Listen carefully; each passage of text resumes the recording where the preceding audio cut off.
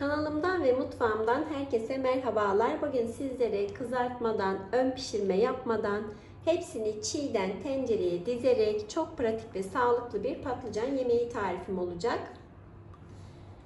Gerekli olan malzemeleri hazırladım. Öncelikle patlıcanları doğrayacağız. Diğerlerini kenara alıyorum. Tarifim için yarım kilogram patlıcan kullanacağım. Patlıcanların sap kısımlarını kesiyorum ve alacalı bir biçimde soyuyorum.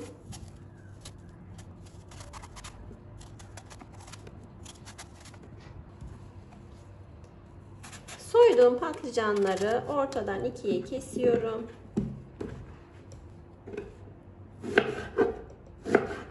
Bu şekilde doğruyorum.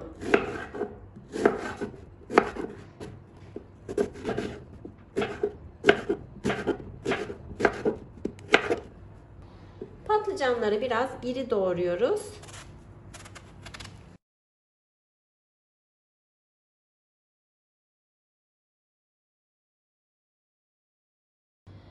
Patlıcanların kararmaması için ve acı suyunun çıkması için geniş bir kasenin içerisine su koydum. Biraz da içerisine tuz atıyorum.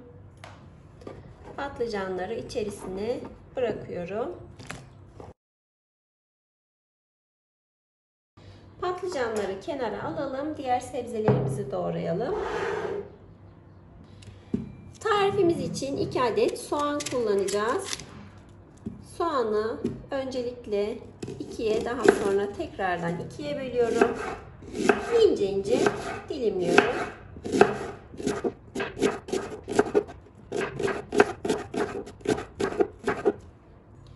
Bu tarifte önemli olan sebzelerin doğrama şekli. O nedenle hepsini tek tek ayrıntılı gösteriyorum. 1 adet kırmızı kapya biber, 5-6 adet de yeşil biber kullanacağım. Biberleri de ince ince doğruyorum.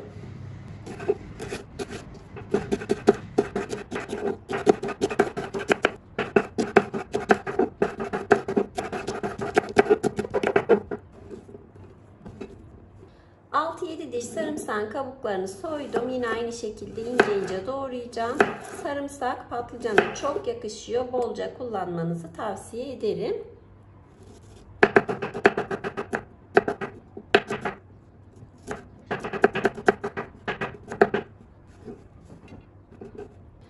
Domateslerim büyük olduğu için 2 adet büyük boy domates kullanıyorum. Ama domatesiniz küçükse 3 veya 4 adet de kullanabilirsiniz. Kabuklarını soydum. Ortasındaki sert kısmını da alıyorum. Küp küp doğruyorum.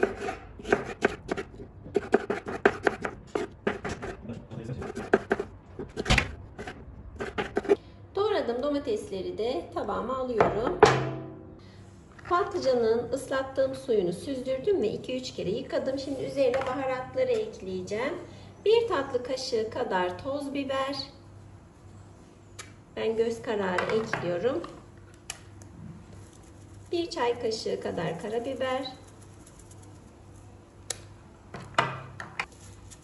1 çay kaşığı kadar yine pul biber ekliyorum. Acı olduğu için onu çok fazla eklemiyorum. Biraz kimyon ekliyorum. Tuzunu da ekleyelim. Bir tatlı kaşığı kadar tuz ekliyorum. Birbirine karışıncaya kadar elimle iyice karıştıracağım.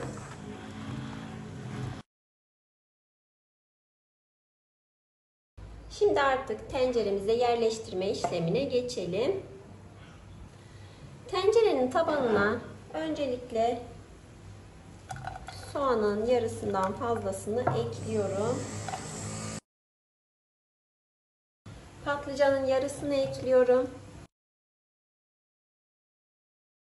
Biraz biberlerden, domatesten ve sarımsaktan ekleyeceğim. Yine üzerine soğanı da ekliyorum. Üzerine kalan soğanın hepsini ekledim. Biberlerin de yine aynı şekilde yarıdan fazlasını ekledim.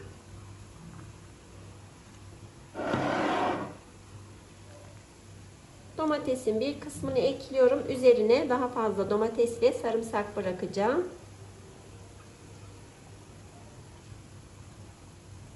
Kalan patlıcanın tamamını döküyorum tabanındaki baharatlarıyla beraber.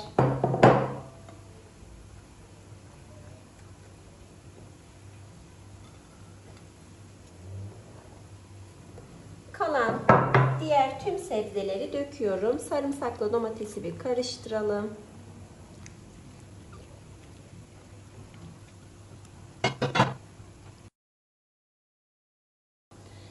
Sebzelerin tamamını yerleştirdim. Yapılışı oldukça pratik.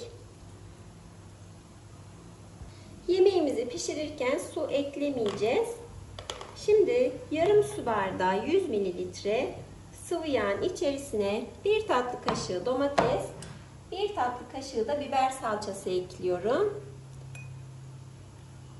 Su kullanmadığımız için yağın içerisinde çözdürerek ekliyorum. Hazırladığım salçalı yağlı karışımı da üzerine gezdiriyorum.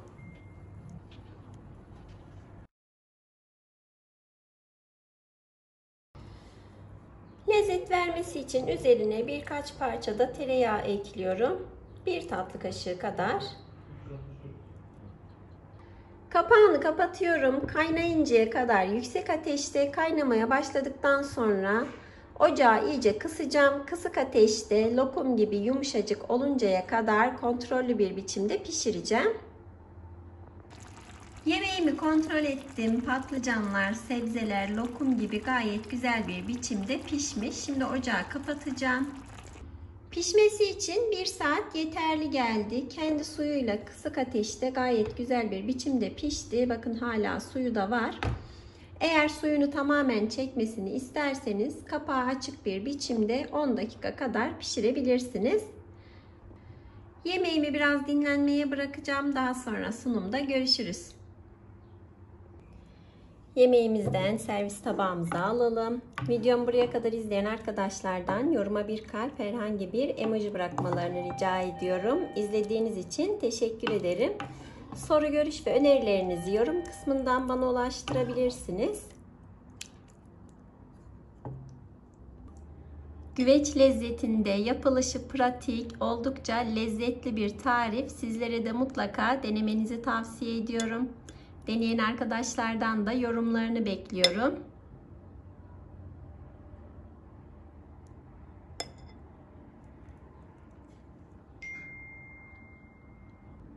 Dikkat edin çok fazla ekmek yedirtir. Ekmek bana bana yiyeceğiniz harika bir lezzet. Bugünlük de bir tarifin sonuna geldik. Kanalıma abone olmayı, yeni tariflerimden haberdar olmak için zil açmayı unutmayın. Başka videolarda görüşmek üzere. Hoşçakalın.